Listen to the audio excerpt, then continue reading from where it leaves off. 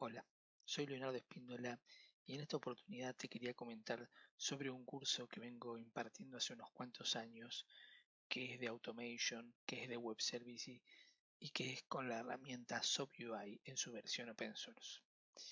En este curso de Automation vamos a estar viendo desde las principales características de la automatización desde el punto de vista de los web services por sobre otras maneras de automatizar y después vamos a ir entrando ¿sí? paulatinamente en el mundo de la herramienta de SoapUI, ya que ofrece muchas características que al ser una herramienta open source otras no pueden ofrecerlas.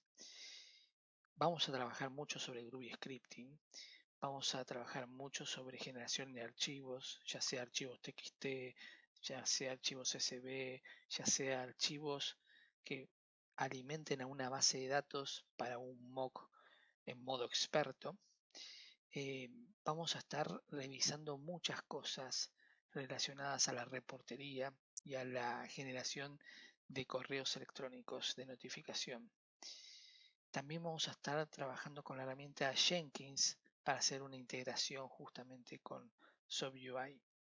Así que bueno, te espero en este curso y te mando un gran abrazo. Saludos.